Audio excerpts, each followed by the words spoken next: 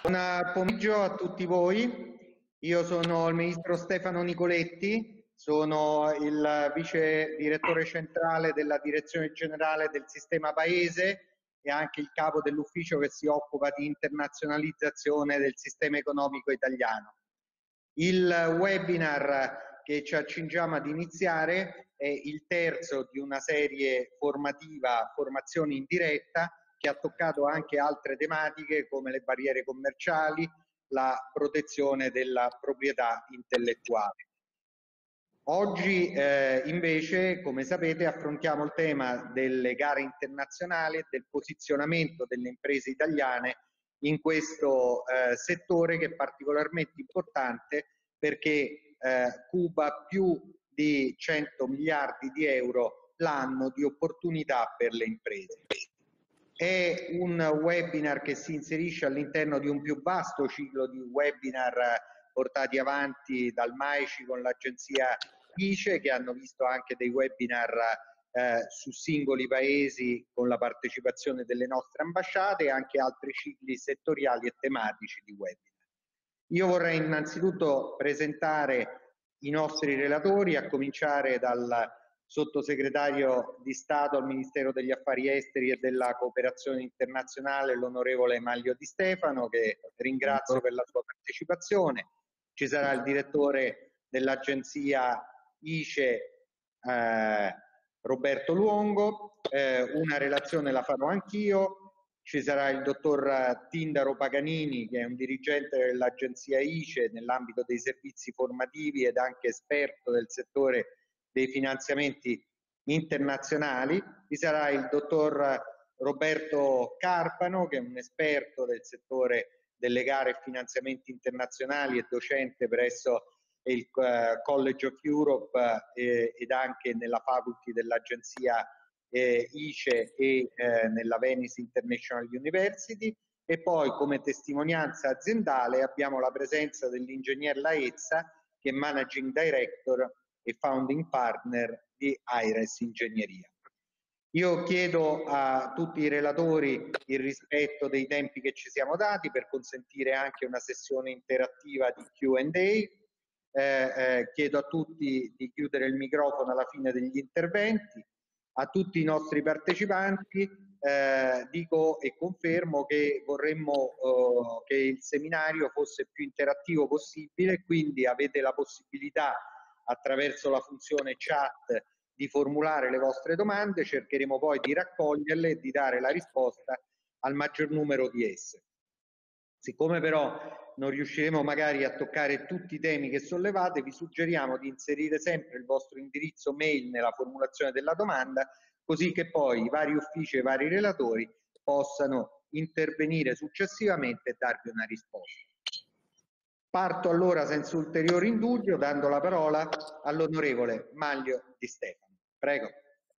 Buongiorno a tutti, grazie Ministro Nicoletti, è un piacere per me essere qui oggi a questo webinar che come hai citato è uno in un ciclo di webinar che abbiamo avviato eh, da, da, in piena fase Covid ancora in realtà, che ne ha visti già 17 geografici sui mercati di destinazione dell'export che ho avuto il piacere di aprire tutti eh, e poi eh, ora invece siamo passati anche a un altro ciclo di webinar che è più invece trasversale. Abbiamo già fatto sul futuro delle fiere, sulla grande distribuzione organizzata, in particolare Francia e Germania, e anche sulle barriere non tariffarie e sulla, proprietà, sulla protezione della proprietà intellettuale. L'obiettivo è quindi di estendere la consapevolezza di questi temi alle nostre aziende. Oggi parliamo di un tema di grande interesse e di grande utilità, che è quello delle gare d'appalto internazionali e delle modalità, eh, appunto, è una delle modalità per internazionalizzarsi e sono sicuramente degli strumenti promettenti e, e sui quali dobbiamo avere contezza di regole chiare, stabili nel tempo e che richiedono certamente una specializzazione per poter addentrarsi in questo campo e quindi una fase formativa che definirei costante per le nostre aziende per poter partecipare al meglio. E molto spesso, troppo spesso, perdiamo occasioni di mercato importanti per via della mancata consapevolezza di come partecipare al meglio a queste gare. Per questo la Farnesina ha messo a punto alcuni strumenti E tra questi eh, uno dei più importanti che abbiamo messo a punto proprio per, eh, come strumento di supporto all'internazionalizzazione eh, è dentro l'ambito appunto dei sistemi informativi eh, diretti proprio al settore delle gare eh, d'appalto e si chiama Extender, che è un portale che permette appunto di avere anticipazioni, quindi cosiddetti early warning sui grandi progetti. L'obiettivo della piattaforma è quello di fornire un'informazione puntuale sulle opportunità di business, favorendone così eh, una eh, più facile eh, opportunità di successo per, eh, per le aziende e quindi l'aggiudicazione del progetto stesso. Con questa consapevolezza è stato ideato il sistema che trovate appunto al sito extender.esteri.it dove ogni impresa può reperire gratuitamente informazioni sulle gare d'appalto in corso e su quelle in programma eh, che vengono segnalate praticamente quotidianamente nella rete diplomatico-consolare e quindi ambasciate, consolati e, e istituti uffici dell'agenzia ICE nel mondo. Il valore aggiunto di questo progetto è quello di poter contare su una rete molto ampia di strutture in grado di fare scouting delle informazioni, oltre che chiaramente avere a disposizione un servizio di alert via mail mirato su settori e mercati di interesse. Non va sottovalutato che la rete di contatti stesso delle ambasciate a volte riesce a farci avere degli early warnings anche ancora in fase di creazione dell'offerta. Nell'ultimo anno la piattaforma ha veicolato circa 7.500 informazioni, di cui 7.069 gare e 399 anticipazioni di gare e grandi progetti, cosiddetti early warning appunto. Circa 26.000 destinatari hanno usufruito. È un risultato importante che è frutto chiaramente del lavoro dei nostri uffici e speriamo che, sempre più, che, che cresca questo numero sempre di più perché significa che tante aziende ne hanno approfittato per essere consapevoli di quello che succede nel mondo e di come poter prendere nuovi vantaggi. In gara con noi Tender Lab è un altro progetto, un altro strumento importante e infatti eh, dove eh, sostanzialmente le gare di appalto internazionali eh, che costituiscono uno dei canali privilegiati per il business delle nostre PMI eh, vengono, eh, vengono formati anche grazie appunto a questo strumento eh, ed è una, una, uno strumento che permette appunto di avere un vantaggio competitivo spesso e volentieri. Abbiamo vediamo che la partecipazione italiana alle gare d'appalto è ancora sottodimensionata, come dicevo all'inizio, rispetto alle capacità che abbiamo e che in linea di principio potremmo eh, raggiungere sul piano della, della competizione internazionale risultati molto più importanti. Quindi eh, riteniamo che eh, questo si debba eh, in buona parte a un gap di conoscenza e di formazione specifica, Proprio eh, questa consapevolezza è alla base del progetto eh, In gara con noi Tender Lab, che è stato promosso e finanziato e realizzato già dal MAECI a partire dal 2018, grazie al supporto progettuale e operativo dell'agenzia ICE.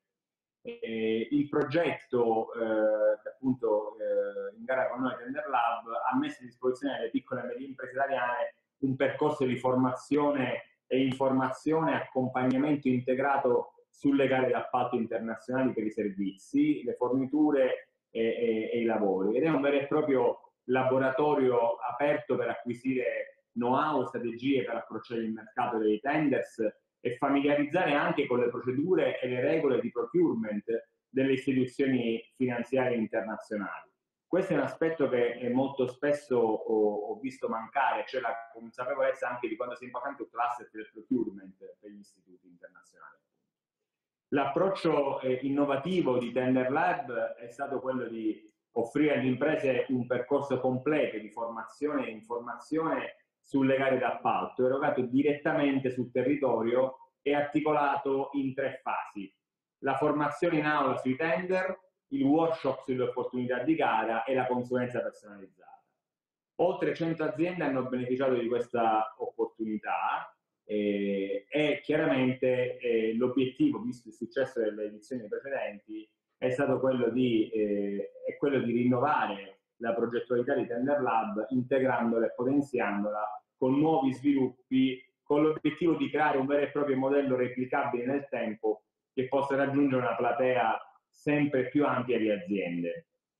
Tra gli sviluppi a cui stiamo eh, pensando per arricchire il progetto c'è anche un servizio di advisory a disposizione delle aziende che sarà attivabile dire direttamente attraverso la piattaforma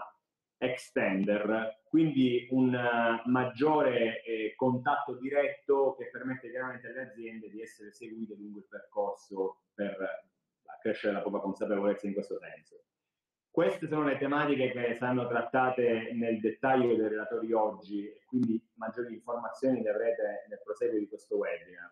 Per quanto mi riguarda invece cercherò di darvi uh, un breve quadro d'insieme della strategia italiana che nasce ben prima della crisi e che infatti eh, nasce dal settembre scorso eh, quando abbiamo voluto eh, dare il primo tassello di una innovativa visione del commercio estero portando col DL 104 le competenze legate all'internazionalizzazione dal Ministero dello Sviluppo Economico alla Farnesina, eh, operazione che è diventata operativa dal primo di gennaio. Durante, con questa votazione, quindi durante la, la, crisi abbiamo potuto lavorare in maniera anticiclica al rilancio, fino ad arrivare alla firma da parte del Ministro Di Maio eh, con le maggiori associazioni di categoria eh, del patto per l'export l'8 di giugno. Il patto stesso è frutto dell'ascolto, come quello che avverrà oggi durante la fase di Q&A, eh, e della condivisione delle eh, associazioni di categoria e delle confederazioni. Ho personalmente presieduto infatti 12 tavoli settoriali per un totale di oltre 30 ore di interazione, raccogliendo così eh, feedback fondamentali che abbiamo inserito nella strategia stessa. Ci siamo focalizzati sul rafforzamento della penetrazione del Made in Italy nei vari mercati e nell'internazionalizzazione del sistema economico produttivo italiano. Questo eh, dal momento che le nostre esportazioni concorrono per circa il 30% del PIL nazionale, quindi abbiamo ritenuto che migliorare proprio l'asset delle esportazioni fosse fondamentale per la ripresa. Pensate che avevano chiuso il 2019 con 478 miliardi di esportazione, secondo posto soltanto dopo la Germania in Europa questo, e puntavamo a superare la quota di 500 miliardi. Chiaramente eh, abbiamo dovuto ridimensionare questa stima per via del Covid, eh, però abbiamo questo chiaro obiettivo anche nella strategia. L'obiettivo è non solo aumentare il valore assoluto, aumentando i mercati di destinazione, ma anche e soprattutto la, aumentare la platea di imprese che stabilmente concorrono ad aumentare, eh, a, a, concorrono alle esportazioni del nostro paese. Quindi eh, il valore assoluto, ma anche la platea che lo compongono, perché riteniamo che l'export sia il pilastro su cui spesso ci si aggrappa per mantenersi durante eh, le crisi di domanda interna. Il patto per l'export si compone di sei pilastri, comunicazione, formazione e informazione, e-commerce, sistema fieristico, promozione integrata e finanza agevolata. Eh, per quanto riguarda la comunicazione abbiamo lanciato una campagna, eh, una, una consultazione di mercato europea per lanciare appunto una campagna di comunicazione sul rilancio del Nation Brand eh, che verterà sul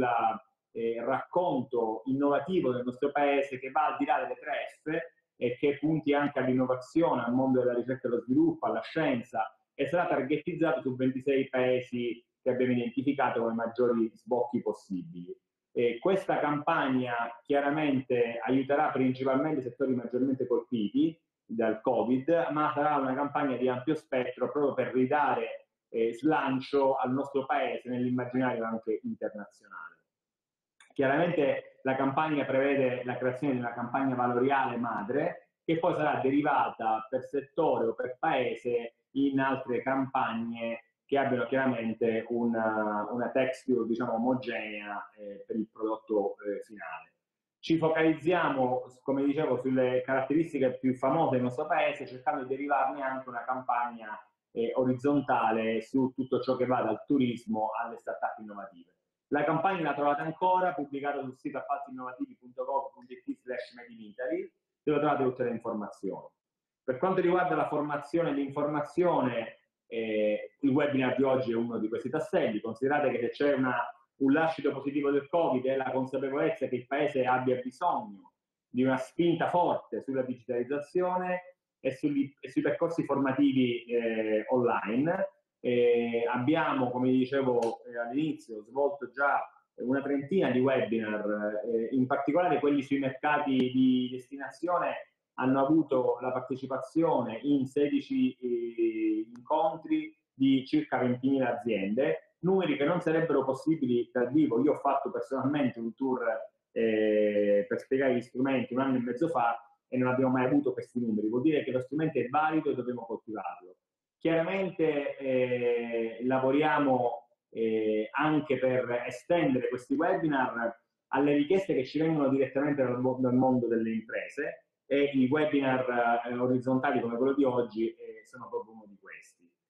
L'altro grande pilastro eh, che, ehm, che, che, stiamo cercando di, di, portare avanti è quello della eh, formazione continua, quindi abbiamo ideato uno strumento che è un ebook che si chiama Una guida per partire, che ha proprio la, la, la volontà di rispondere alla domanda della piccola, piccolissima impresa sul come internazionalizzarsi. Quindi non diamo semplicemente una pletora di strumenti, ma partiamo dalla domanda cosa posso fare per arrivare a come farlo e, e affianchiamo, affianchiamo, a questo anche una revisione dello strumento del Temporary Export Manager che diventa adesso Digital Export Manager, quindi un manager esperto di export ma con competenze digitali che permette appunto di muoversi sullo spazio del digitale che è quello che in questi mesi, soprattutto di Covid, è andato per la maggiore nell'ambito del trade internazionale.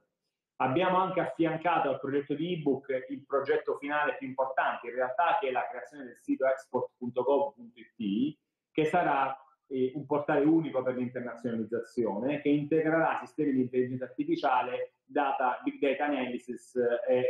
e chiaramente tutto ciò che permette anche di customizzare l'esperienza dell'utente grazie appunto all'utilizzo dei, dei big data. Eh, questo non è in divenire, è presente, nel senso che lanceremo la prima release a fine luglio e l'ultima eh, intorno a dicembre, quindi i, il progetto è già eh, quasi operativo e sarà un progetto di grande, di grande respiro. Puntiamo poi massicciamente sull'e-commerce, sugli accordi di vasta scala, eh, ICE sta rilanciando gli accordi che avevamo già con Amazon, Alibaba, Rakuten, ma vogliamo espanderci ad alcuni dei 450 marketplace che esistono nel mondo, eh, entrando in un early stage, potendo quindi contrattare condizioni migliori oltre al lavoro che stiamo facendo sulla grande distribuzione organizzata, che è un po' il bonus nel nostro paese, con nuovi accordi. Sul sistema fieristico abbiamo voluto contribuire eh, già con i ristori intanto alle mancate partecipazioni alle fiere primaverili, ma soprattutto andremo a eh, lanciare eh, una piattaforma di B2B che possa estendere eh, le fiere eh, fisiche al virtuale per la fase appunto di B2B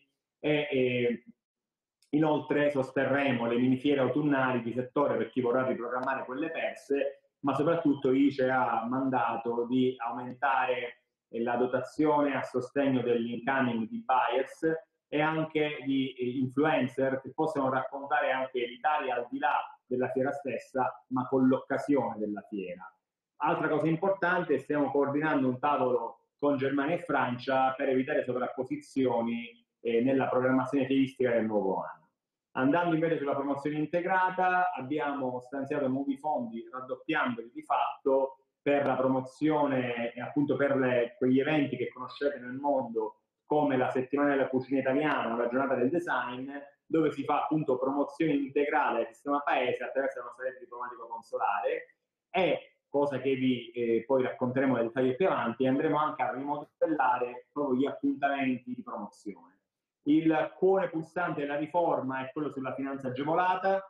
Tramite la riforma della norma 39481 di Sinest portiamo a 900 milioni la sua dotazione, di cui 300 a fondo perduto, eh, con la possibilità da parte delle aziende di richiedere l'accesso al finanziamento con un 50% a fondo perduto fino a 800 mila euro e senza garanzie. Eh, questo chiaramente eh, permetterà alle aziende anche più piccole di poter chiedere il fondo. Non solo, abbiamo aumentato anche la possibilità eh, di ottenere il fondo per altri aspetti dell'impresa, quindi la, patrimoni la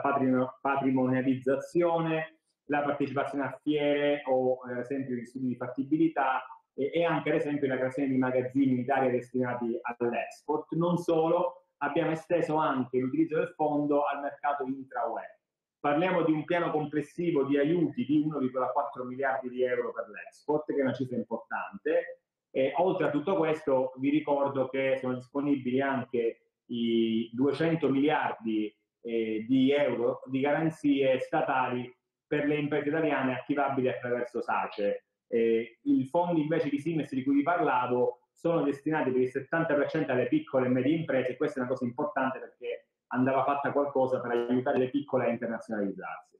Tanto abbiamo fatto, certamente non è abbastanza ed è il motivo per il quale il patto per l'export l'abbiamo voluto definire un patto aperto in evoluzione costante, perché avremo bisogno di monitorare l'andamento poi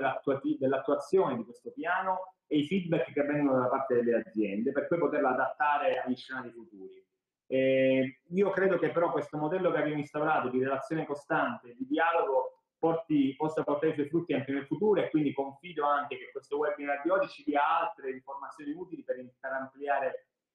il patto. Eh, sono certo che eh, grazie al, all'appoggio che trovate alla Direzione Generale del Sistema Paese, oltre che il mio personale, sapete che il mio ufficio è aperto nel senso del termine, e riusciremo ad affrontare questa crisi arrivando a buoni risultati, ottimi risultati nel, nel breve periodo Proprio oggi Istat dimostrava come, nonostante una, un sostanziale crollo dell'export durante il lockdown, ed era ovviamente fisiologico, eh, già nel primo mese di riapertura i dati siano positivi e siano in doppia cifra. Quindi io credo che si possa fare un gran lavoro insieme. Io sono a disposizione, eh, vi ringrazio tutti e confido nel, nel, nel, metodo di lavoro che abbiamo avviato di interazione costante. Buon lavoro con questo webinar e grazie a tutti gli organizzatori. Grazie eh, sottosegretario per un intervento che è stato a tutto tondo e che ci ha parlato non solo degli strumenti della Farnesina ma anche di tutti i pilastri in cui si compone il patto per l'export. Io vorrei dare una comunicazione di servizio perché dalla regia mi hanno avvisato che in qualche caso sono state segnalate delle difficoltà per inserire delle domande nella chat se sperimentate queste difficoltà potete anche mandarle via mail all'indirizzo webinar.formazione-ice.it. Ripeto, webinar.formazione-ice.it.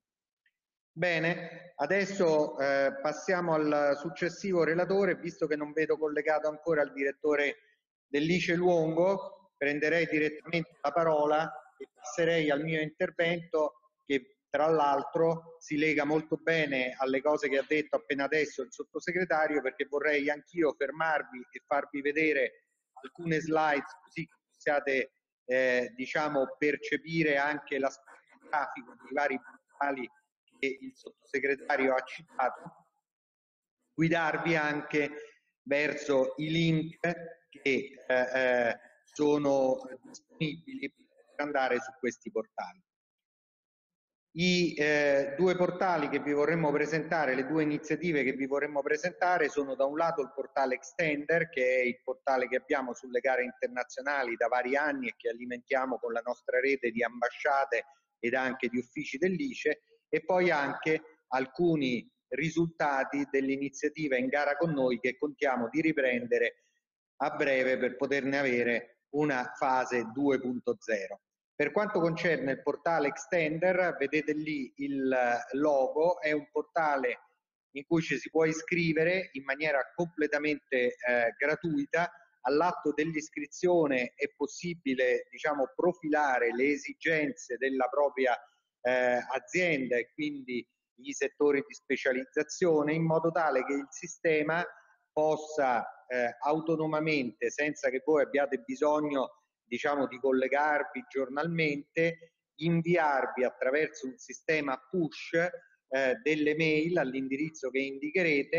eh, con l'indicazione delle nuove gare che vengono caricate sul portale che afferiscono a dei settori che sono i settori eh, di vostro interesse. Oltre alle pagine con l'indicazione dei bandi di gara, il portale contiene anche i cosiddetti early warnings, cioè le informazioni anticipatorie, che sono eh, informazioni di tipo qualitativo molto importanti che noi recepiamo attraverso la nostra rete, attraverso gli uffici dell'ICE, su iniziative che ancora non si sono concretate in un bando, ma che sono nella pipeline o sono riflessioni sulle quali un certo governo eh, sta facendo per intervenire poi con un certo progetto infrastrutturale, con un certo oleodotto, con una certa linea metropolitana, eh, con un certo progetto ferroviario, con un impianto a gas o qualunque sia eh, diciamo, l'oggetto poi che si materializzerà in una gara e quindi in una possibile commessa. Il fatto di poter conoscere eh, anticipatamente che ci sono queste eh, eh, eh, riflessioni in corso consente all'azienda interessata di potersi già preparare, preposizionare, monitorare eh, quel certo mercato, trovare eventualmente delle altre aziende eh, partner con cui presentarsi alla gara che successivamente uscirà. Oltre alla possibilità di ricevere queste mail push vi vorrei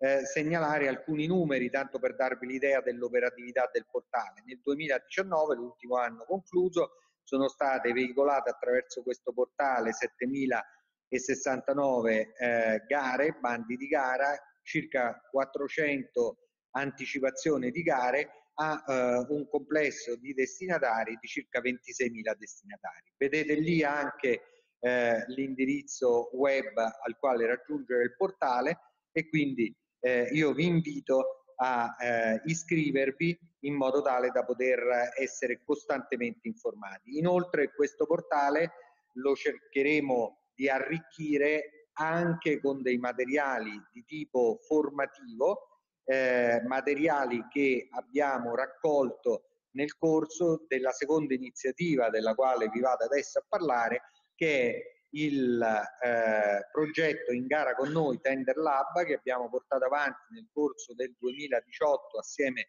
all'ICE e che eh, eh, consisteva in un percorso di accompagnamento che abbiamo condotto in molte città italiane eh, che si componeva di tre tappe o di tre fasi. Una prima tappa era quella proprio formativa in senso stretto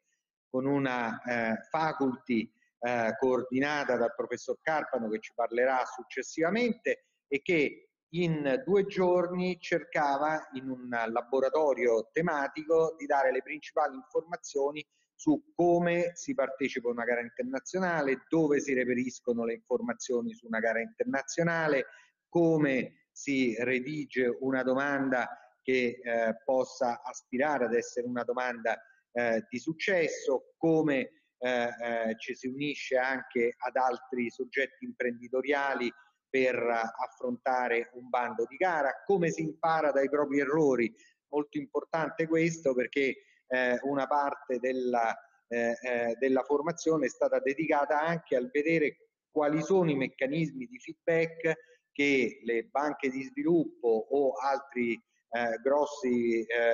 fornitori di eh, eh, occasioni di, di, gara internazionale hanno al loro interno per segnalare alle imprese che non vincono eh, anche eh, le ragioni per le quali eh, non hanno avuto successo. E, da quelle ragioni, anche dal dialogo col, che si può instaurare con i settori di procurement di queste strutture, si può diciamo, fare tesoro dai propri errori e eh, eh, ritornare alla carica in occasioni successive, come ci hanno raccontato alcune imprese che abbiamo potuto eh, eh, intervistare nel corso di queste sessioni formative, che magari alla prima volta o anche alla seconda non ce l'hanno fatta, ma poi imparando hanno eh, eh, raggiunto la via del successo. E sono anche, come poi ci racconterà in, nel suo intervento il eh, rappresentante di Aires Ingegneria, una volta trovata questa strada poi si eh, può essere richiamati o si possono vincere ulteriori occasioni di gara con lo stesso committente. Una seconda fase era invece dedicata all'illustrazione di come funzionano eh, il procurement di alcune grandi eh, eh, banche di sviluppo, a cominciare dalla Banca Mondiale, abbiamo passato in rassegna i programmi dell'Unione Europea, i programmi eh, e, eh, eh, il procurement delle varie agenzie eh, delle Nazioni Unite e abbiamo anche considerato alcuni eh, grandi eh, eventi come l'Expo di Dubai che è stata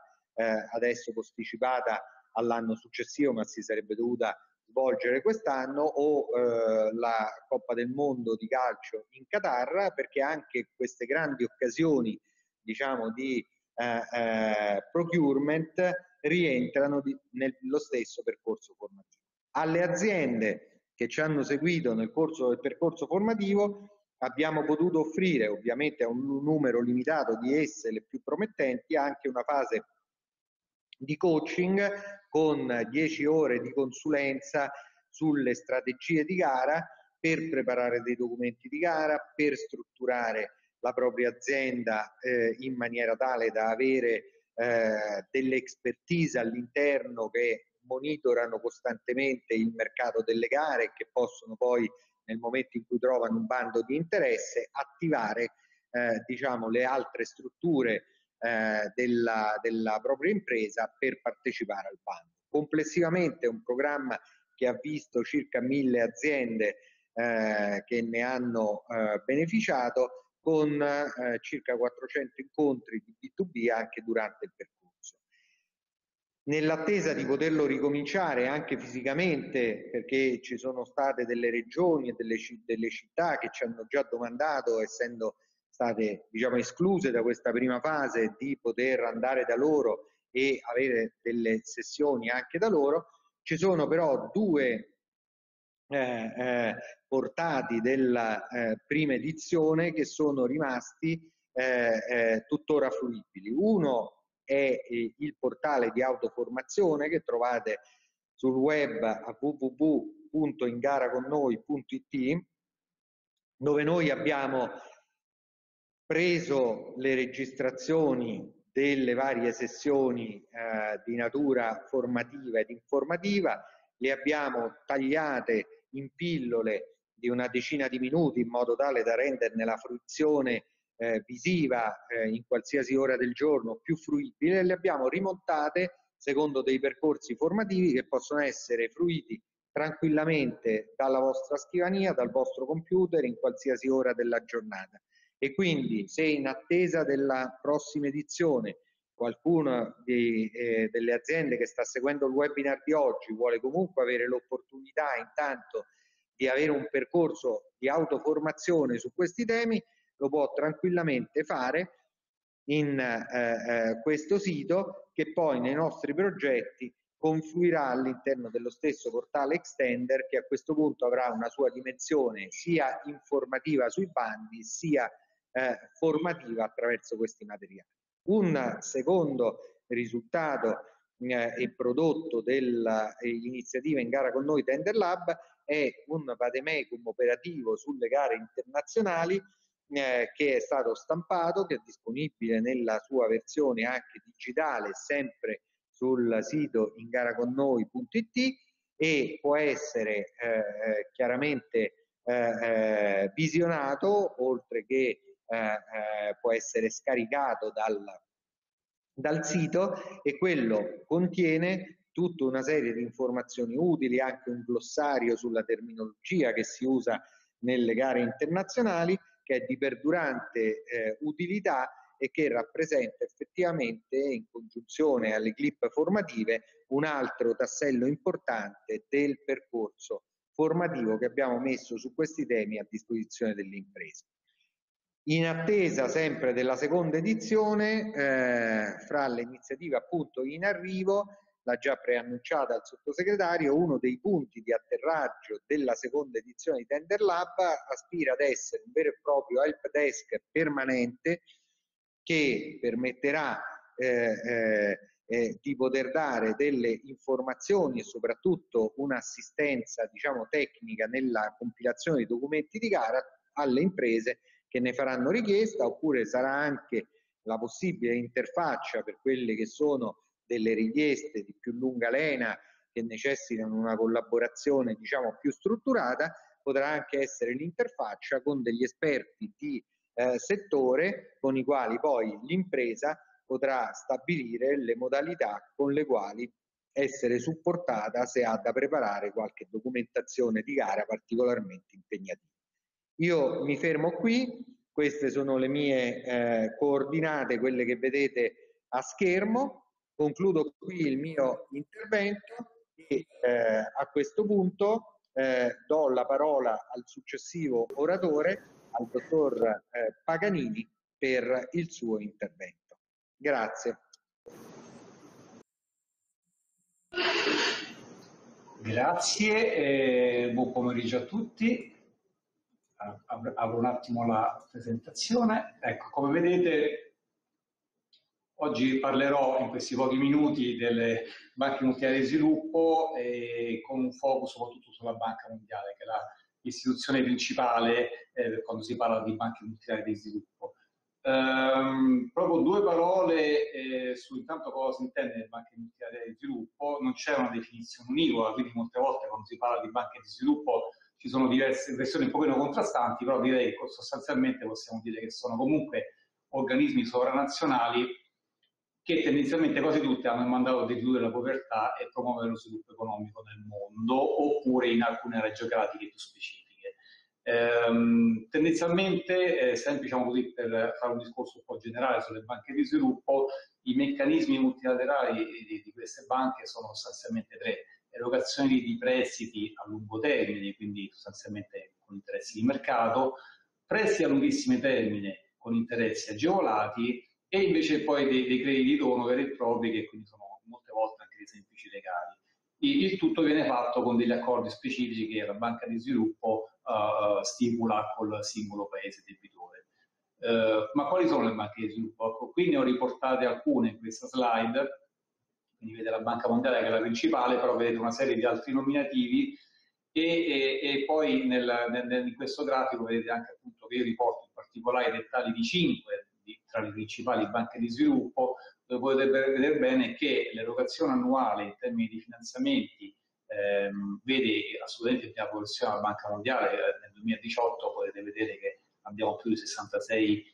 miliardi di dollari erogati dalla Banca Mondiale, eh, mentre invece le altre banche di sviluppo si attestano tra i 10, 15, 20 miliardi di dollari e non di più. Quindi, eh, essendo ovviamente la Banca Mondiale eh, principale, ci siamo. Ehm, dedicherò il mio intervento a questo Ehm, però prima di questo volevo, in questa slide voi vedete quali sono i principi fondamentali che regolano il procurement internazionale, che è comune a tutte le banche di sviluppo. Quindi ehm, a qualunque banca di sviluppo potrete rivolgervi, tendenzialmente tutte eh, si attestano su questi sette principi, dal value for money, economia, integrità, eh, efficienza, trasparenza, e, e uguaglianza di opportunità e trattamento per, per, gli offerenti. Io non vado nel dettaglio dei singoli, ehm, dei singoli principi, che comunque sono li potete anche trovare nelle slide che poi saranno distribuite a chi è interessato, eh, però mi piace sottolineare il fatto come il value for money sia il, il criterio principale che ormai guida tutte le banche di sviluppo, eh, a partire dalla Banca Mondiale proprio, che sostanzialmente quindi è un criterio in cui si, si, si, si cerca di realizzare il massimo beneficio per ogni dollaro speso. Eh, tendenzialmente quindi eh, considerando quindi nella valutazione delle offerte non più solo l'elemento costo come spesso era fatto fino a pochi anni fa, ma anche eh, l'elemento qualitativo, molte volte anche superando il 50% nel peso dell'attribuzione. Questo è il principio di base a cui si attiene anche eh, la Banca Mondiale, di cui comincerò a parlare adesso, ma in una maniera un po', maniera un po diversa. Io ho pochi minuti, quindi non posso andare troppo in dettaglio, però mi preme farvi sapere che quando si parla di un'istituzione come la Banca Mondiale, ci sono opportunità, ovviamente offerte dal procurement, il tema di oggi è soprattutto il procurement, però mi preme anche farvi vedere come ci sono tante altre opportunità che poche aziende italiane conoscono e pochissime sfruttano. In particolare sono quindi opportunità di finanziamento per, eh, diciamo così, commesse minori, di cui parlerò, e poi anche i finanziamenti diretti erogati da EFSI. Um, quindi eh, molto velocemente per quanto riguarda comunque la prima opportunità, che è quella ovviamente più conosciuta, quella del procurement, intanto è bene sapere che il procurement della banca si divide in operational corporate, quindi sostanzialmente eh, l'operational procurement, che è sostanzialmente il 95% dei contratti assegnati, sono gli appalti per beni, lavori e servizi nell'ambito dei progetti finanziati dalla banca. C'è poi il corporate procurement che invece, il 5% dei contratti assegnati, invece riguarda diciamo, più l'operatività interna della banca, in cui però non ci sono solo semplicemente beni di consumo, ma ci possono essere anche grosse opportunità di consulenza. Ehm, restando sul sul, sull'operational procurement, che comunque è il, eh, diciamo, il grosso del procurement della Banca Mondiale, come vi dicevo, il principio fondamentale anche nel caso della Banca Mondiale è il value for money, a cui però si associano altri due principi che, che è bene comunque bene tenere a mente quando si approccia un'istituzione come questa. Uno è fit for purpose, quindi in ogni caso eh, sappiate che la Banca Mondiale adotta una strategia di procurement per ogni singolo progetto e quindi voi troverete per ogni singolo progetto un documento specifico eh, in cui la banca eh, per quel determinato paese, per quel determinato prodotto, per quel determinato eh, diciamo, progetto, eh, identifica le forme di procurement eh, che, sono, che meglio si, si, si, si, sono da utilizzare per quanto riguarda il, il, il contratto. Uh, inoltre, è, è, bene anche sapere questo, che i governi sono responsabili della gestione dei fondi, quindi sostanzialmente la maggior parte dei, dei, fondi della Banca Mondiale vengono erogati non direttamente, quindi se voi partecipate a un bando della Banca Mondiale, in realtà molte volte partecipate a dei bandi eh, eh, diciamo, sponsorizzati diciamo così, dai governi e, e, pubblicizzati dai governi, in cui però il finanziamento in realtà è erogato dalla Banca Mondiale. E, e come tale, quindi poi, senza avventure troppo nei, tecnicismi, comunque come tale voi comunque come primo riferimento, quando partecipate al bando della Banca Mondiale, dovete rivolgervi intanto al governo. Poi posso, ovviamente se c'è qualche domanda posso poi andare un pochino più approfondita su questo aspetto. Ma appunto per dare un pochino di, di elementi un po' più concreti, eh, mi preme intanto dirvi che eh, diciamo, i bandi della Banca Mondiale sono tendenzialmente, coprono un po' tutti i settori, soprattutto trasporti, water sanitation, energia, ma come vedete comunque lo spettro è piuttosto ampio. E anche a livello, diciamo così, di ehm, regionalizzazione, ovviamente il grosso dei bandi sono dove sono i paesi poveri del mondo, perché come penso tutti sappiate, l'obiettivo della Banca Mondiale è la riduzione della povertà nel mondo e come tale quindi diciamo più del 50% dei, dei, dei progetti della Banca Mondiale sono in Africa subsahariana e in South Asia. Um, è molto interessante vedere queste le statistiche che vi farò vedere adesso, cioè eh, quali sono i principali paesi aggiudicatari. Eh, se vedete gli ultimi tre anni, vedete che ovviamente Cina e India sono i paesi aggiudicatari principali. Per una serie di ragioni, non ultimo il fatto che anche molti progetti della banca si sviluppano in questi paesi, quindi ovviamente c'è un vantaggio chiaro per le aziende locali, ma eh, come vedete l'Italia comunque si posiziona abbastanza bene, che è nel settimo posto, che non è male, non è male perché qui si parla di mezzo miliardo di dollari in tre anni con una quota del 79%, se poi faccio vedere la slide successiva vedrete che negli, nei quattro anni precedenti eh, l'Italia era al terzo posto con un quota 89% del totale, del prodotto totale e oltre 3 miliardi di dollari giudicati. Quindi come vedete c'è una differenza molto forte e una, un gap che noi eh, stiamo accumulando negli ultimi anni molto forte. Le, le motivazioni sono tante, non, non mi soffermo sulle motivazioni, però appunto è bene che voi sappiate che quindi c'è molto spazio, ecco, vediamola in maniera positiva questa statistica, e quindi sappiate quindi che lo spazio per le aziende italiane è molto grande e per tale vi, eh, come tale vi faccio anche vedere i nomi di, di, di, alcune delle aziende che negli ultimi anni sono giudicate italiane, che sono giudicate ehm, gare nelle, nelle, della, Banca Mondiale e come vedete appunto sono aziende un po' di tutti i tipi e anche di, in diversi settori. Um, però quello che mi preme anche dirvi è questo, ecco, um, io vi cito un esempio di un'azienda italiana, è la Newside Group, che è un'azienda piccola, perché molte volte uno pensa che quando si avvicina, dicono, io non mi avvicino alle, alle, ai bandi delle banche di sviluppo perché sono troppo grandi, non mi riguardano, eccetera. Ecco, io vi porto un esempio di un'azienda che eh, ho avuto il piacere di conoscere, in qualche modo anche supportare un pochino nel suo processo di avvicinamento alle istituzioni di Banca Mondiale, un'azienda che ha un fatturato medio anno di 4-5 milioni e circa 25 dipendenti, quindi sicuramente non si può dire che sia un'azienda particolarmente grande, e loro hanno capito però a un certo punto l'importanza eh, di eh, identificare una figura interna che si occupasse esclusivamente di gare d'appalto all'interno dell'azienda. Eh, diciamo con questa lungimiranza loro, eh, dopo un annetto più o meno da, da quando hanno identificato questa figura, hanno cominciato a giudicarsi gare e in particolare sono giudicate una gara della Banca Mondiale per l'installazione e manutenzione di nuovi impianti per il trattamento di rifiuti ospedalieri in, in Romania. Questa gara è finanziata dalla Banca Mondiale. Quindi ecco, il mio messaggio è eh, il mondo delle banche di sviluppo,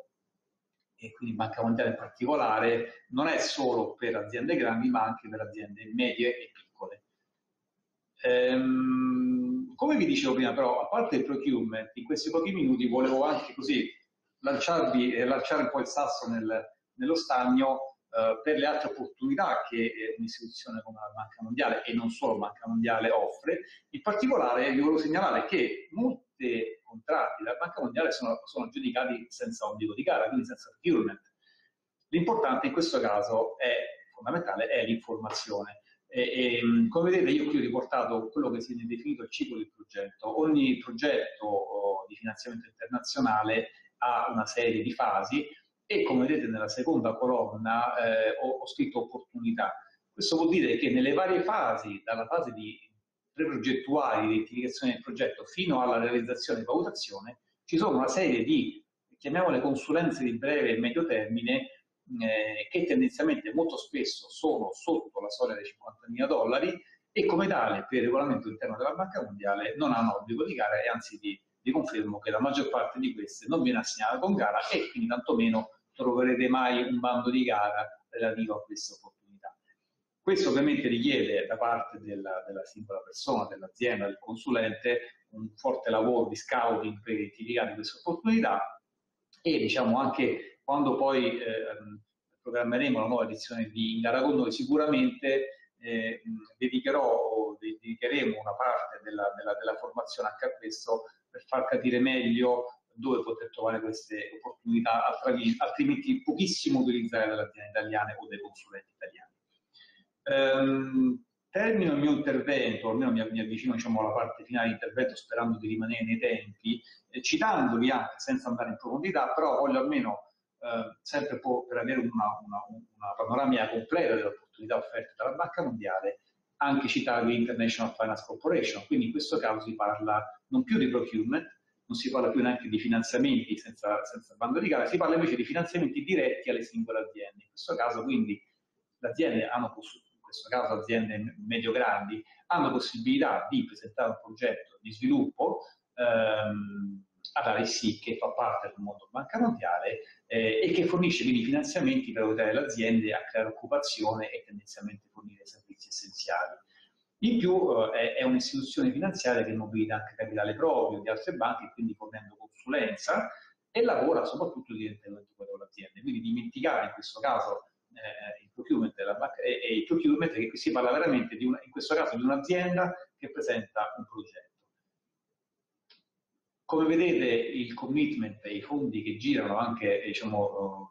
eh, in favore di aziende italiane eh, da parte di ESI eh, sono piuttosto rilevanti, sono un po' in tutti i settori e, e, anche un po' in tutte le zone geografiche coperte dall'attività della Banca Mondiale. Mm, sotto in questa slide vedete che sono riportati i principali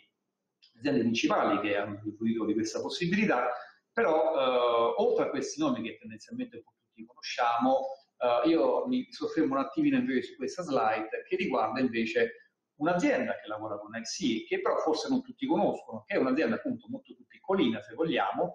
ma che però è, è, è diciamo, leader nella sua nicchia di mercato in quanto loro producono tappe a colone in plastica per, per l'imbottigliamento sostanzialmente e hanno due, sostanzialmente due marchi internazionali come, diciamo, come clienti che eh, però sono uh, la, la Coca-Cola e la Heineken, quindi ecco, non voglio fare pubblicità, ma insomma, ehm, avendo questo tipo di nicchia di mercato così importante, IFC ha, ha mh, avviato fin dal 2011 un rapporto molto stretto con IFC, senza mai ricevere finanziamenti, ma eh, diciamo così, soprattutto eh, diventa, IFC è diventato un po' il consulente di, eh, di Pelliconi, guidandolo un po' sullo sviluppo sul mercato internazionale. Questo cosa vuol dire? Che quindi la Banca Mondiale non solo eroga fondi, ma potrebbe anche diventare un, un consulente nelle vostre strategie di approccio ai mercati dei paesi in via di sviluppo. Questo ovviamente, ecco, anche qui non posso ovviamente dedicarmi troppo ai dettagli, però eh, ovviamente qui si parla di aziende medio, medio grandi, però appunto ripeto, ecco, la Pellicoli non è comunque un'azienda particolarmente grande, quindi ecco, il messaggio, spero che il messaggio sia giunto abbastanza chiaramente. Eh, l'ultima slide eh, riguarda invece è un po' un'introduzione a quello che poi dirà anche il dottor Carpano dopo di me. Sostanzialmente, eh, diciamo, ecco, avendo esperienza di, di, lunghi anni di rapporti con aziende italiane che si approcciano a istituzioni come la Banca Mondiale e non solo, eh, tendenzialmente secondo me dobbiamo partire da tre elementi fondamentali che in qualche modo sono già stati detti, ma che mi piace ripetere, comunque è veramente fondamentale che le aziende si concentrino ecco, su questi elementi per, per iniziare una strategia di approccio alle banche di sviluppo, quindi non solo alla Banca Mondiale. Quindi uno, in primis, è l'informazione, quindi l'azienda deve organizzarsi in maniera da poter stabilmente monitorare bandi e altre opportunità di business, come ho detto ad esempio per la Banca Mondiale, quindi identificando una figura o anche proprio una struttura interna all'azienda, quindi anche di più figure eh, che fanno sostanzialmente solo questo, quindi che si occupano delle banche di sviluppo. E vi assicuro che è un investimento che vale la pena. Eh, secondo elemento su cui mi piace eh, soffermarmi è la comunicazione e quindi è necessario che le aziende curino accuratamente la propria presentazione aziendale, il sito web e soprattutto anche come presentarsi, presentarsi diciamo, presso queste istituzioni o presso le controparti locali, quindi ovviamente questo coinvolge anche un livello di inglese adeguato. Uh, ultimo uh, suggerimento che mi sento di dare prima di passare poi la parola al dottor Campano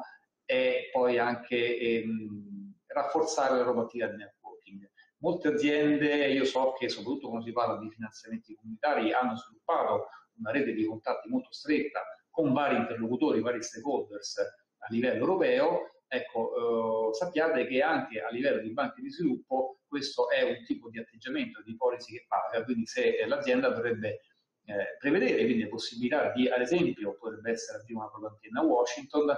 sede della Banca Mondiale o comunque nella città dove ha sede la banca a cui si è particolare interesse per quanto riguarda i finanziamenti, oppure anche aprire, le, così, identificare delle antenne nei paesi in cui si vuole reperire, reperire i finanziamenti eh, in maniera da essere costantemente aggiornati su bandi e altre opportunità che potessero venire fuori.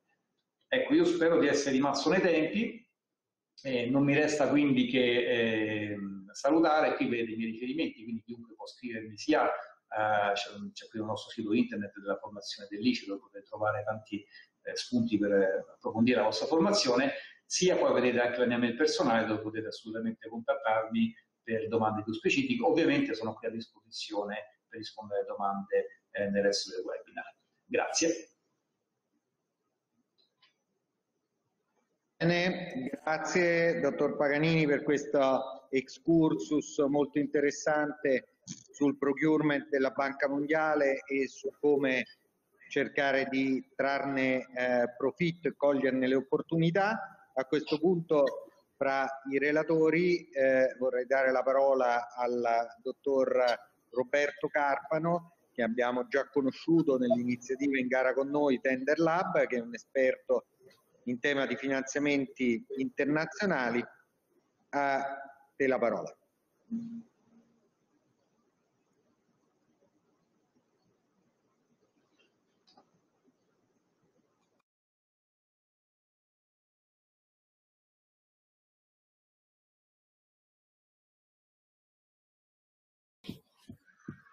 Eh, sì, Ministro, grazie. Un attimo eh, per il collegamento.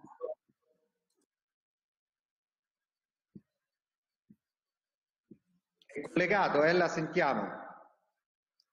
Perfetto, eh, volevo essere sicuro che la mia presentazione si veda.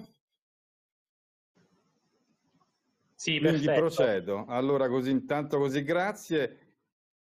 Il tema di oggi è procurement internazionale e difficoltà strategie. Diciamo quindi parleremo eh, essenzialmente di che cosa è un sistema di procurement e quali sono i suoi vantaggi rispetto al tema nazionale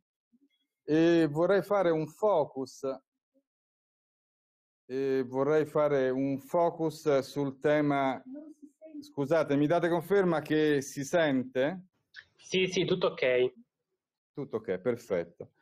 E vorrei appunto poi insistere sul tema difficoltà e strategie. Come ha detto il ministro Nicoletti e Tindra Paganini, l'esperienza che vogliamo condividere oggi è un'esperienza che nasce dal campo, nel senso che sono stato il coordinatore didattico di Tender Lab eh, fase 1, eh, per cui diciamo quello che vorrei condividere è un, po', un pochettino quello che abbiamo imparato eh, quello che abbiamo ascoltato parlando con le imprese e condividendo con loro molto tempo. Innanzitutto il procurement internazionale rispetto a quello nazionale ha degli aspetti che lo caratterizzano come più efficiente. Il fatto di essere efficiente, diciamo che è una richiesta dell'agenda universale 2030,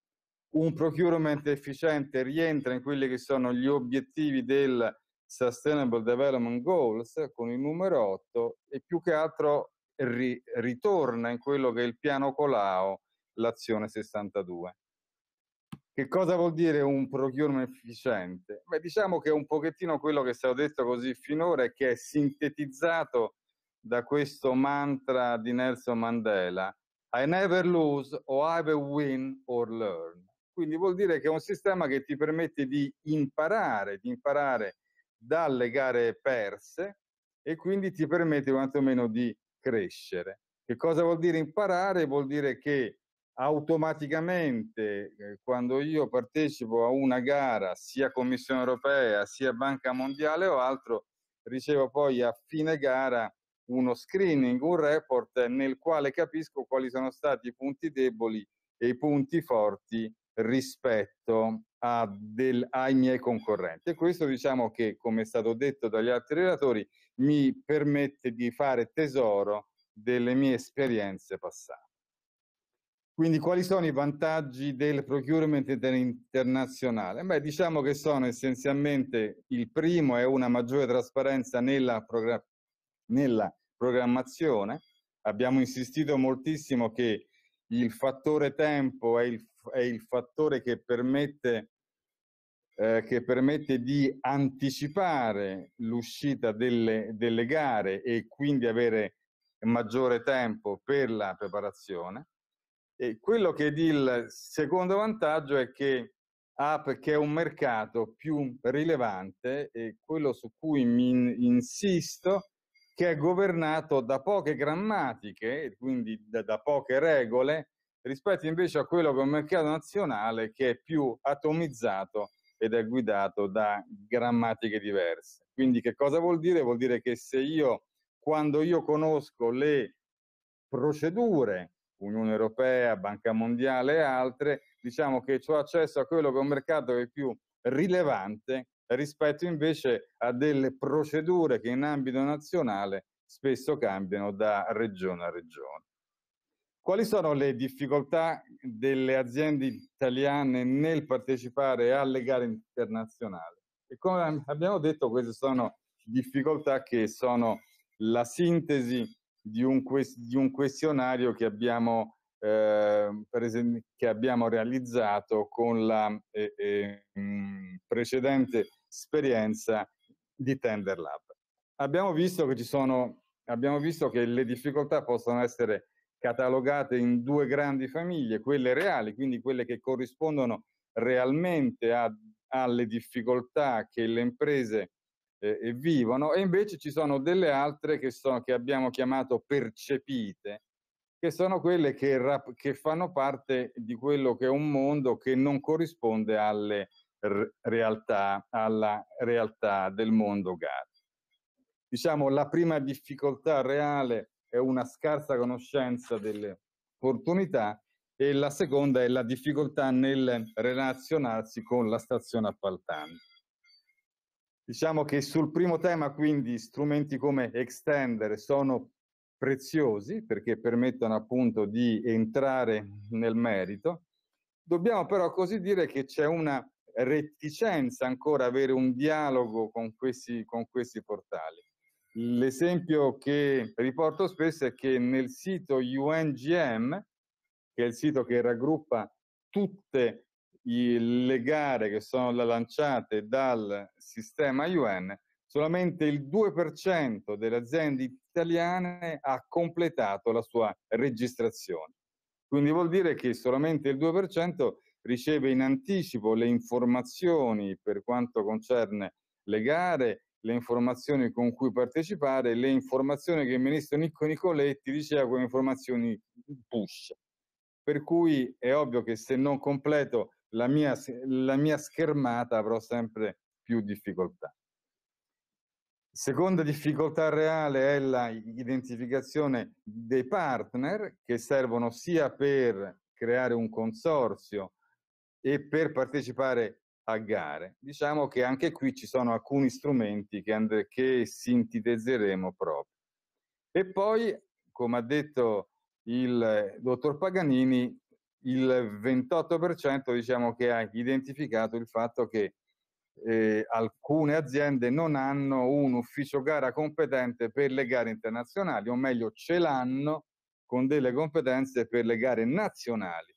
che sono delle competenze sicuramente utili, sicuramente di base, che potrebbero essere il punto di partenza per poi costruire quelle, quelle eh, competenze che sono invece richieste da un uh, ufficio gara di carattere internazionale. Nelle, nelle, difficoltà percepite, che sono quelle che secondo noi non corrispondono alla eh, realtà dei fatti, abbiamo due punti importanti. Uno che ci sono eh, molte aziende eh, di, dicono che le gare internazionali sono caratterizzate da delle metodologie stringenti e da una complessità amministrativa. Io vorrei mettere sulla bilancia la complessità di una gara naz- nazionale con una complessità di una gara internazionale. Penso che questa difficoltà emerge eh, per una conoscenza eh, che deve essere sviluppata ancora su questo, su questo tema. Un altro, un'altra difficoltà percepita riguarda un fatturato aziendale insufficiente rispetto ai requisiti vorrei citare due cifre, nel senso che la prima azienda italiana ehm, nel ranking Banca Mondiale è Astaldi, è il gruppo Astaldi che ha 3 miliardi di fatturato. Il nostro tes- testimonial di oggi, Aires, ha un fatturato di 400 mila euro. Quindi vuol dire che il fattore eh, fatturato aziendale come, come vincolo, diciamo che corrisponde in parte, nel senso che ci sono alcune gare che richiedono un fatturato specifico ai temi. Quindi vuol dire che la risposta per superare questi due punti è proprio il fatto di scegliere le gare nelle quali io ho maggiori capacità di vincita e le gare dove ho un fatturato che corrisponde al tema della gara. Vediamo quali sono le strategie per affrontare le difficoltà che abbiamo evidenziato prima. Su questa slide ci sono due elementi importanti. Uno è una strategia e secondo è una condizione sine qua non per mettere in piedi la strategia. Fred Allen è stato un comico americano eh, che, a, che, a, me piace molto perché il suo, eh, il suo motto è molto chiaro. Qui dice cambiare è difficile, ma non cambiare è fatale. Quindi, se io mi voglio, al, se mi voglio affrontare quello che è il tema delle gare internazionali,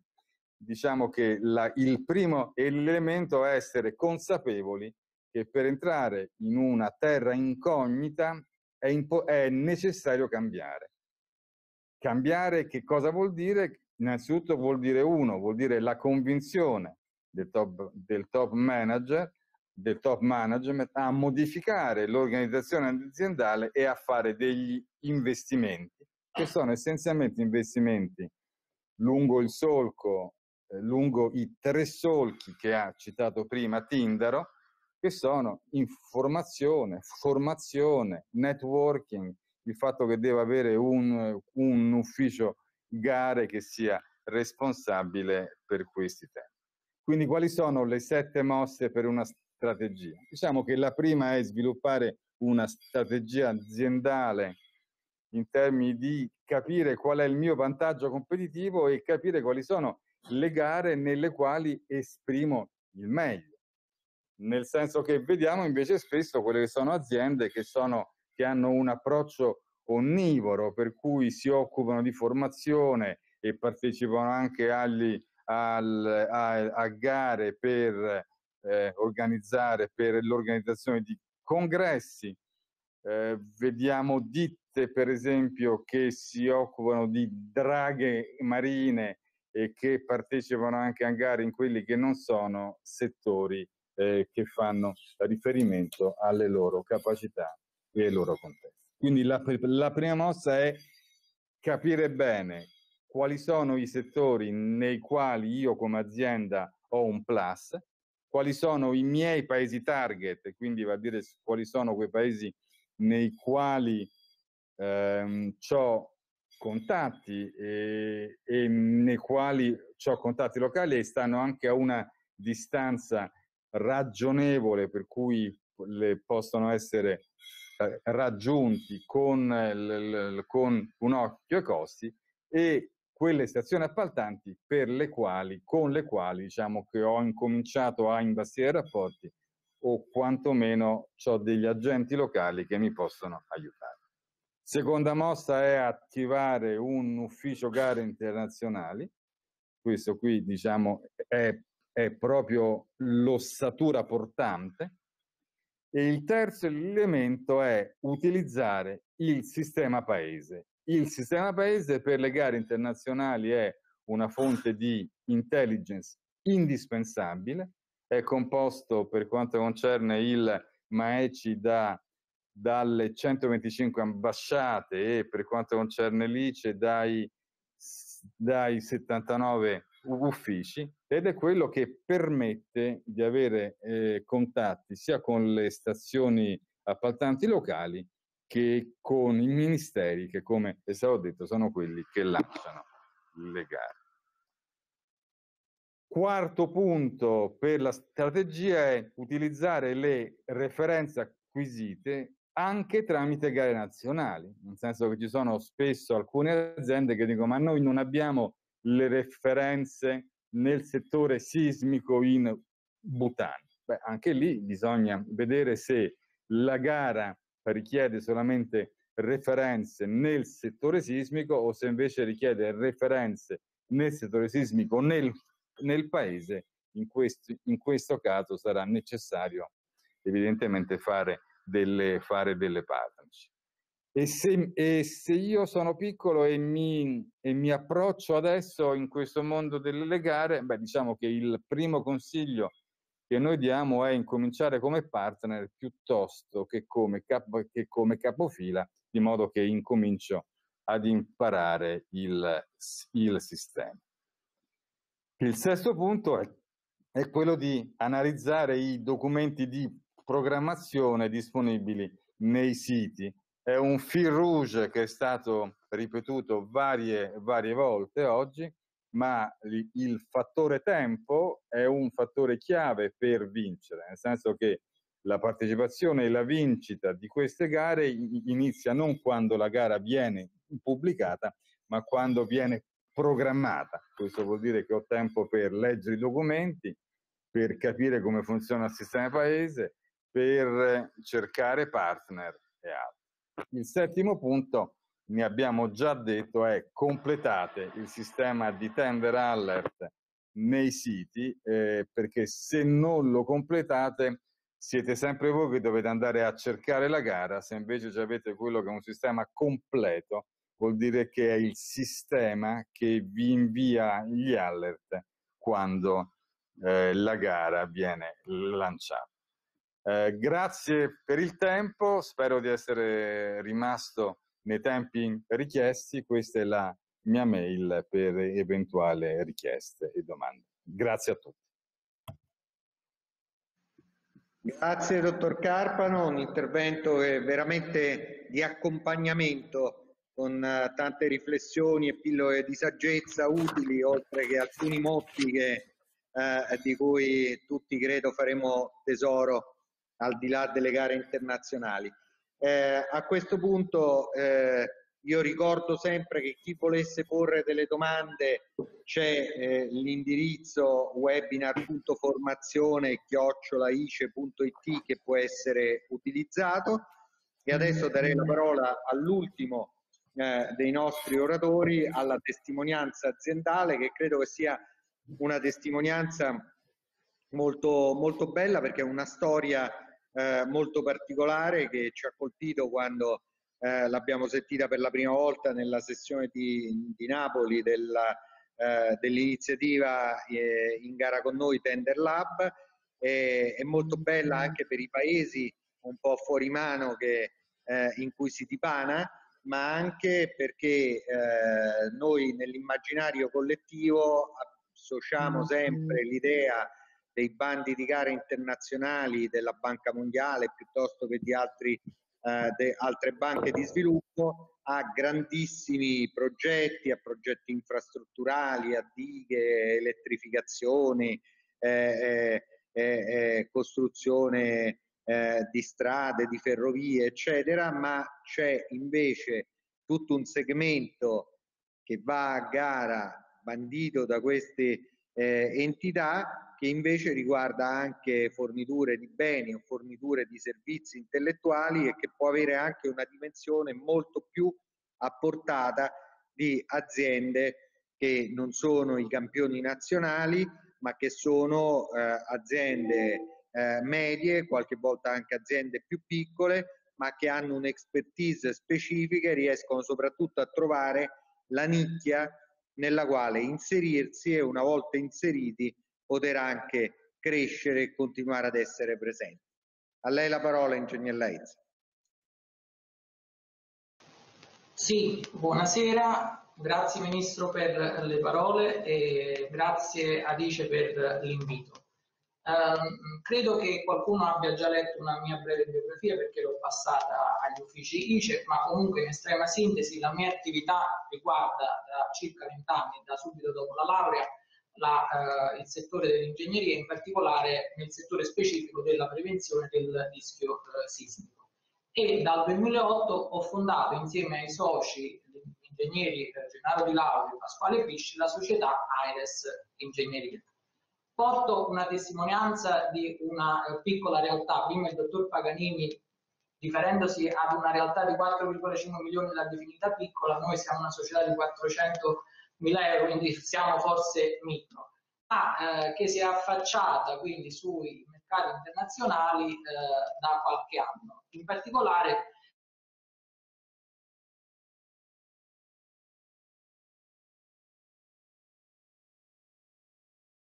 dice allora eh, l'ICE eh, in, eh, in, accordo, in congiunzione con l'OICE, che è la primaria, che è l'associazione nazionale di riferimento per la categoria delle società di ingegneria e di architettura, fece questo eh, seminario o questo corso eh, di formazione barra informazione e tra l'altro proprio il dottor eh, Tito Paganini era tra diciamo, gli, gli, gli, oratori. Quindi ehm, a seguito di, questa, eh, di, questo corso ci siamo un po' appassionati a, a, a, questo, a questo, discorso e abbiamo un po' iniziato a, studiare. I documenti ce ne sono eh, davvero tanti, soprattutto la Banca Mondiale eh, ha, ultimamente pure ha fatto dei documenti anche in, in italiano, poi abbiamo visto il Vademecum che prima ha citato lo stesso eh, ministro Nicoletti. Quindi diciamo, quindi diciamo che materiale eh, ce n'è. Quindi studiando, eh, dopo poi pochi mesi, eh, mi ricordo era aprile quando abbiamo partecipato al, al seminario, a, a giugno, maggio, c'è stata una REOI nel nostro settore specifico eh, che riguardava la prevenzione del rischio sismico eh, nel Bhutan, eh, un paese che diciamo, era ai primi, ai primi, passi in questo settore. E quindi eh, abbiamo messo insieme una REOI che poi diciamo è in, maniera molto veloce, insomma può essere preparata a vari livelli, può essere una semplice presentazione, una brochure, delle lettere eh, diciamo, di referenza e quindi diciamo, abbiamo spedito e con molta sorpresa poi siamo stati invitati a quella che era la successiva fase che era la fase di RF, LFP, Request for Proposal. ROI è eh, Request for Expression of Interest, per chi non lo sapesse.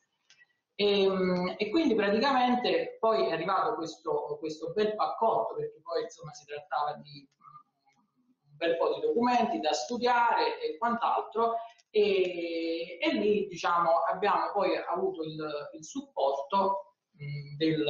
diciamo, sia della nostra associazione di categoria con l'ufficio internazionalizzazione, ma devo dire anche con, con, con l'apparato diciamo, eh, nostro di supporto. Infatti il dottor Paganini eh, a quell'epoca era credo, non so qual è la definizione esatta, ma era un nostro referente presso la Banca Mondiale io ricordo che l'avrò infortunato anche un paio di volte trovando ovviamente la, la massima disponibilità eh, all'epoca. Quindi diciamo, prepariamo questa eh, eh RFP che poi diciamo, eh, significa mettere su una metodologia su come uno vuole risolvere nell'ambito dei servizi professionali certe problematiche e quindi diciamo, la, la spediamo e con molta eh, sorpresa eh, ci piazziamo primi anche davanti a imprese eh, diciamo, che nel nostro ambito, come in ogni ambito, possono essere delle icone, mi riferisco ad Arup, Ecom, eccetera, eccetera. Società da 10.000 dipendenti, insomma noi siamo circa 10 addetti, il fatturato già l'ho citato e, e quant'altro. E quindi eh, diciamo questa è stata la prima esperienza eh, positiva, tecnicamente ci siamo classificati eh, secondi, ma poi con la, um, con l'offerta economica siamo arrivati prima. Ma ripeto, comunque davanti a società molto blasonate che forse non hanno dalla loro un'esperienza specifica che invece ognuno di noi può esprimere nel proprio eh, settore. E quindi poi abbiamo eh, proseguito su questa strada, eh, quindi presentando diverse ROI, essendo invitati e quindi presentando diverse RFP e vincendo poi diverse eh, gare. Cito paesi come le Filippine in cui ci siamo giudicati due gare, poi abbiamo eh, lavorato in Kirghizistan, piccole cose in Pakistan, in India e poi nascono anche delle collaborazioni perché nel momento in cui eh, si inizia a, appunto a, ad essere shortlistati e a vincere si entra comunque in dei meccanismi per cui anche altre imprese estere, anche più grandi, diciamo, sicuramente più grandi di noi, si sono poi rivolte a noi per fare eh, gruppo. Qualche società della Turchia addirittura è venuto qui da noi per insomma, fare delle partnership. Adesso abbiamo eh, delle, er, delle REOI diciamo, in Turchia di cui attenderemo eh, l'esito.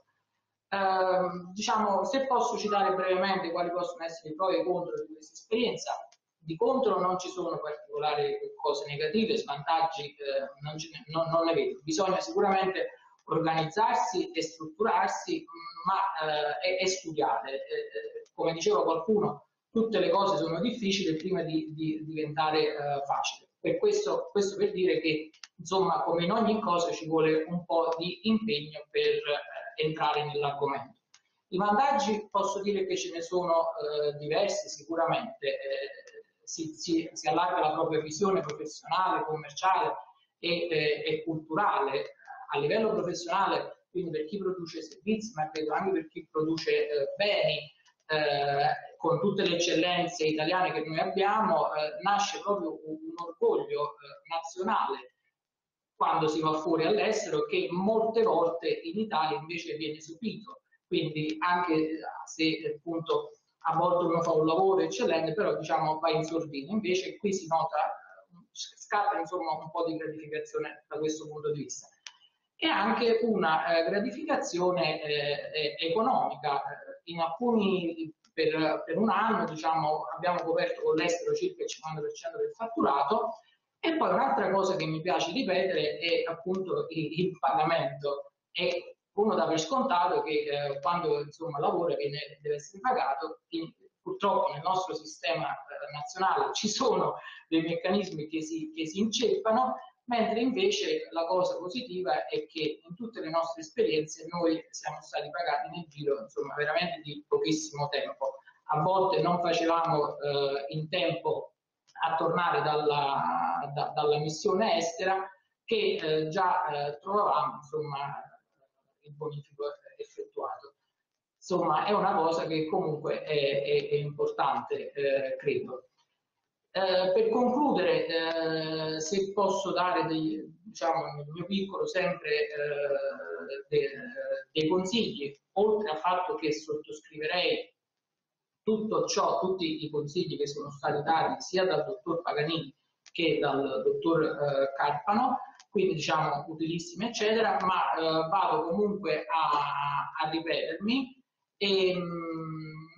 diciamo i consigli sono sicuramente seguire eh, un'attività di associazionismo e eh, networking, quindi mi riferisco a gruppi, a reti o anche ad associazioni di categorie come è stato nel, nel, nostro, eh, nel nostro, caso.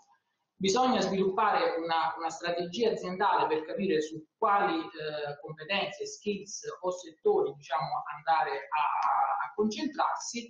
e poi bisogna eh, sicuramente, come diceva il dottor Carpano, a, a allocare un po' di risorse in business eh, intelligence, quindi studiare un po' tutti quei documenti che sono sicuramente diversi ma comunque molto importanti come il General Procurement Notice, eh, il PDI, venivano anche citati insomma in varie slide, dove uno inizia a prepararsi eh, per quelle che sono poi eh, le tender che, che, arriveranno, perché poi il tempo per preparare queste tender è davvero poco. Si, si parla di 15 giorni, massimo un mese. Però diciamo, nel momento in cui uno ha la documentazione preparata poi ci vuole, ci vuole poco. E in ultimo, diciamo, bisogna eh, cercare di conoscere il contesto locale perché eh, questo è difficile comunque per piccole realtà perché richiede comunque uno sforzo di risorse per eventualmente andare sul posto, eccetera, ma ehm, conoscendo il contesto locale, anche eh, avvalendosi eh, de, de, degli uffici ICE che stanno sul posto, a volte si evitano eh, piccole, eh, piccole eh, scottature. Ho poi, uh, uh, un, se mi posso permettere, qui ho un, uh, un libro, questo è il libro del, del dottor Paganini, non ci siamo messi d'accordo, il dottor Paganini non ha bisogno di pubblicità, non me ne vogliono gli altri eh, relatori, so che anche il dottor Carpano ha scritto eh, altri interessanti libri, ma questo qui, essendo proprio calato sulla Banca Mondiale, io l'ho trovato molto, mo, molto interessante proprio per eh, dei consigli molto, molto pratici. Ehm, quindi ehm, credo di aver finito, eh, se qualcuno mh, insomma, mi vuole eh, anche raggiungere privatamente sono a disposizione, sono presente sui social o come società di ingegneria o come appunto persona e resto a disposizione per eventuali chiarimenti. Grazie, grazie di tutto. Grazie mille, ingegner Laezza, sempre prezioso sentire la voce delle imprese, anche perché poi è la voce delle esperienze reali eh, che contano e parlano molto più che eh, ragionamenti teorici. Quindi eh, l'idea che qualcuno ce l'abbia fatta e ce l'abbia fatta in un certo modo eh, può essere di ispirazione per altri che ci stanno provando e che sanno che eh, eh, attraverso un'applicazione sistematica delle, e, e, e, un impegno costante poi i risultati possono arrivare e una volta arrivati i risultati possono anche aprire delle porte verso ulteriori eh, occasioni proficue. Passiamo ora alla parte di Q&A, siamo andati un po' lunghi e quindi abbiamo eh, non moltissimi minuti, io raccomanderei tutti di essere telegrafici nelle risposte così da cercare perlomeno di poter eh, rispondere ad alcune domande. La prima è se le gare internazionali riguardino anche il settore food, eh, su questo io ricordo che non ci sono solo le banche di sviluppo, eh, ma ci sono anche per esempio le agenzie delle Nazioni Unite, una delle agenzie delle Nazioni Unite, il World Food Program, che bandisce effettivamente eh, tutta una serie di gare che riguardano per esempio forniture alimentari. Do però anche la parola al dottor Carpano se per caso ha qualche cosa da integrare su questo tema.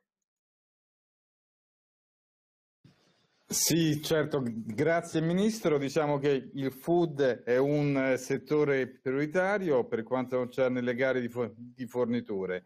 Ricordo che a Brindisi c'è la sede regionale per tutto il Mediterraneo del UNHCR,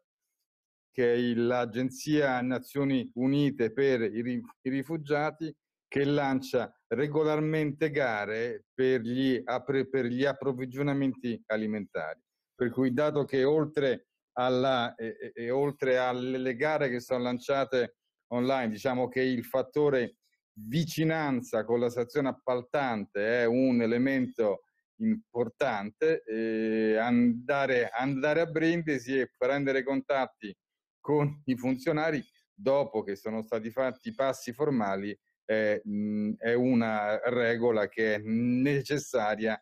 per chi vuole operare nel settore alimentare. Perfetto. Una seconda domanda verte sul portale Extender e ci domandano se eh, fornisce anche un servizio di consulenza per la partecipazione alle gare. Su questa rispondo io brevissimamente. Ho già segnalato che il portale Extender al momento offre bandi ed early warnings. Vi includeremo anche i materiali di natura formativa del progetto in gara con noi, però al momento non fornisce un, un sistema diciamo, di consulenza personalizzata, ma è una delle idee che abbiamo e che vorremmo poi realizzare come portato della eh, fase 2 dell'iniziativa. Eh, una terza domanda è, è come può una PMI italiana aumentare la possibilità di ricevere finanziamenti dalla Banca Mondiale? Su questo darei la parola al dottor Paganini per una veloce risposta.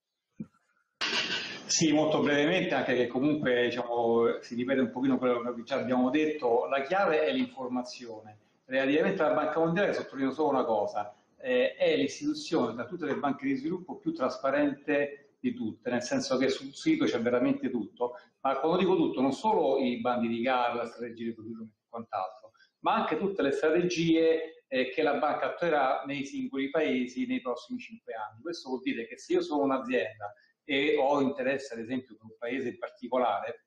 posso benissimo sapere da qui a cinque anni che tipo di progetti, che tipo di attività stanno portate avanti la Banca Mondiale in quel paese e ovviamente quindi che tipo di gare ne usciranno fuori. E quindi l'informazione è fondamentale e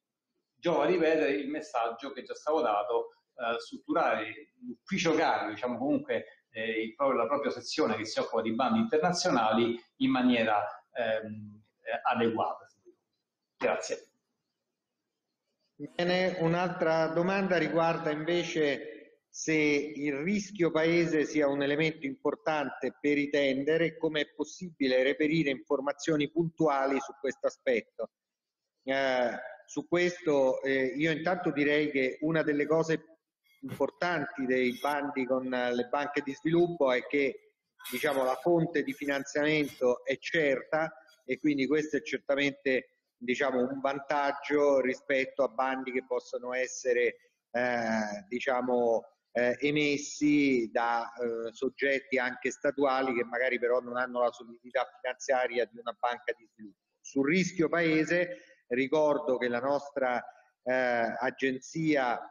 per eh, l'assicurazione sul credito export, la SACE, nel suo sito ha una serie di schede sui vari paesi che riportano tra l'altro anche l'indicazione di rischiosità anche sulla base di quanto viene definito in sede Oxe Consensus da tutte le varie ECAS, cioè da tutte le varie agenzie che assicurano il credito export. Eh, non so se il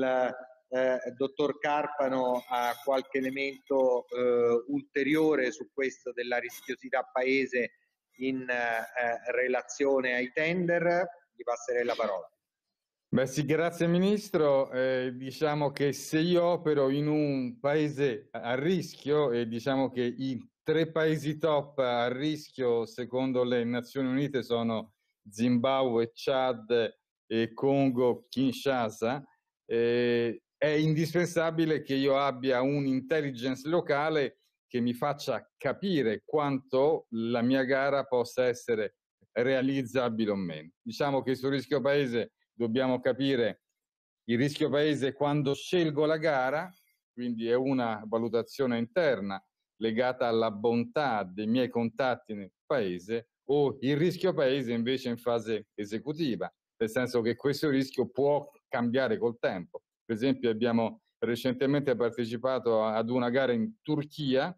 è stata, è stata vinta, poi nel dopo, subito dopo che abbiamo firmato il contratto, è arrivato il Covid, e per cui diciamo che si è bloccato tutto. per cui bisogna un po' capire se il rischio paese è un rischio che è geopolitico o invece è un rischio che è legato a quelle che sono variabili esterne. Io ho visto che ci stiamo approssimando all'ora della fine del seminario, una domanda che ci è pervenuta riguarda l'aspetto linguistico, ci si domanda se è sufficiente parlare l'inglese per partecipare ai bandi internazionali, ovvero se sia necessario anche conoscere la lingua del paese in cui l'opera che viene bandita deve essere realizzata. Anche su questo darei la parola al dottor Carpano. Sì, Ministro, grazie. Eh, diciamo che i bandi di gara nella fase redazionale sono, sono scritti o in inglese o in francese o in spagnolo. La lingua locale è indispensabile conoscerla nella fase esecutiva, nel senso che quando vado in Bhutan, per esempio, è difficile che tutti quanti parlino l'inglese. Per cui diciamo nel mio team è importante che ci abbia qualcuno che parli anche la lingua locale, non solo per un'interazione tecnica, ma anche per respirare la cultura del paese. Forse se vuole intervenire anche l'ingegner Laezza, visto che è stato chiamato in causa il Bhutan e so che poi loro hanno anche scritto una guida per il governo bhutanese di prevenzione sismica, eh, magari ci racconta com'è andata. Sì, eh, sì, diciamo che eh, come anche accennavo precedentemente, eh, oltre alla lingua che è fondamentale poi per portare a, termine e a compimento quelle che sono le mansioni che vengono affidate, infatti non tutti parlavano l'inglese, ma eh, siccome abbiamo dovuto per esempio eh, istruire i muratori su come fare certe cose, c'era poi un, un, nostro, nel nostro interno un ingegnere eh, che appunto parlasse anche la lingua locale. Eh, giusto un accenno sul fatto del contesto, eh, prima, veniva citato, prima, veniva citato, il rischio legato a, al contesto, diciamo che l'affidabilità eh, sul tipo di gara è massima, ma come accennavo bisogna eh, scegliersi bene i partner eh, locali, perché a noi è successo di scegliere un partner locale solo conosciuto attraverso internet, quando abbiamo avuto l'incarico siamo andati sul posto, era una scatola vuota e quindi praticamente abbiamo dovuto poi mettere in pratica tutta una serie di azioni per risolvere questo, questo problema. Quindi la conoscenza del partner locale, quindi se parliamo di rischio paese in questo senso, è fondamentale e in qualche modo bisogna o tramite passaparola o andare sul posto per conoscersi. Bene, adesso un'ultimissima domanda, così poi chiudiamo quali sono i primissimi passi da compiere per un'azienda di piccole dimensioni che si voglia affacciare a questo mondo ma che non abbia mai partecipato ad un tender. Cedo la parola per chiudere al dottor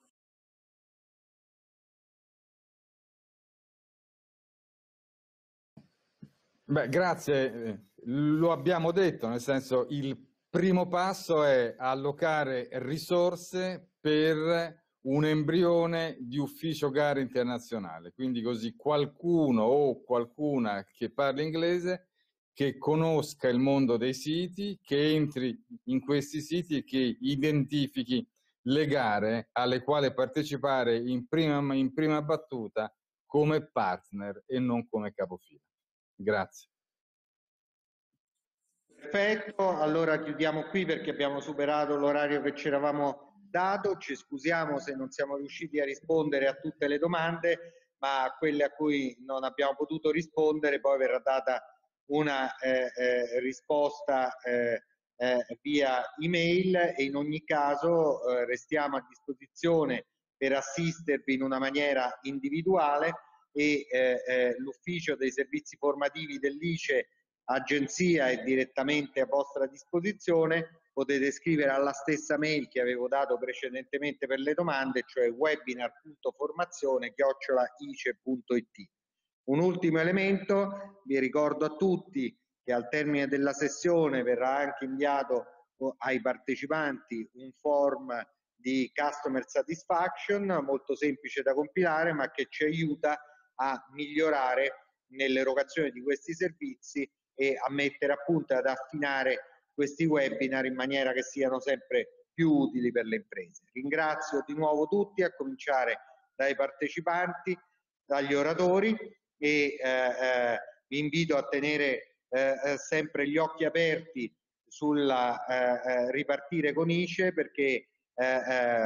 vi forniremo altre occasioni di formazione su varie altre tematiche. Abbiamo in mente anche dei webinar con le regioni sui temi eh, dell'export che partiranno già all'inizio di settembre, quindi ci saranno altre occasioni formative ed informative e quindi come si dice stay tuned. Grazie a tutti per la partecipazione e eh, buona serata.